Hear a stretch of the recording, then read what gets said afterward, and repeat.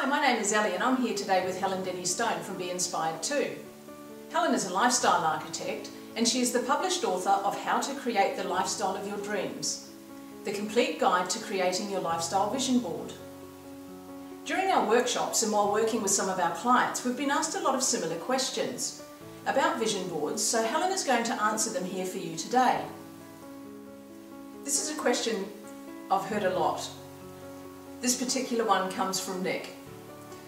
What she wants to know is once she's actually completed her vision board, does she actually have to do anything or will it just happen?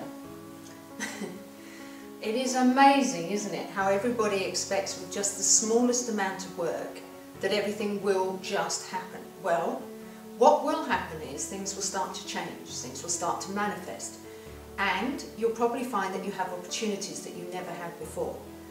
Now the real art is to take the opportunity, have a go, take the action. If something new is happening in your life that you were not, was not happening for you before, then there's a reason for it. So go with it, take action.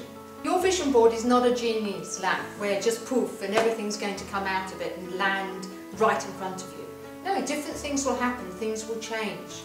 There'll be different emotions, different feelings, but you need to act on those. So as soon as you feel something, as soon as you hear, see, taste something different, then go with it because there's a reason for it. And I guarantee that you will see the difference and know the difference very shortly. But yes, you do actually have to do something.